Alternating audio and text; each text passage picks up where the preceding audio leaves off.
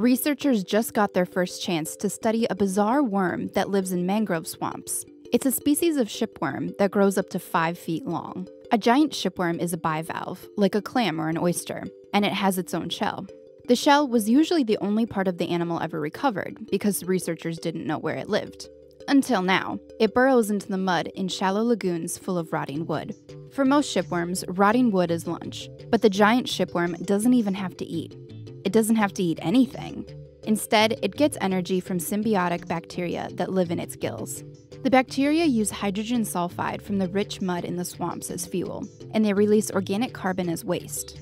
It's more than enough to keep the shipworm alive. It works so well that its own digestive tract has atrophied from disuse. We don't see animals switch away from actual food all that often. It seems to happen most in extreme environments, and with hosts that don't have to move much. The tube worms that live near hydrothermal vents rely on bacteria for their food, too.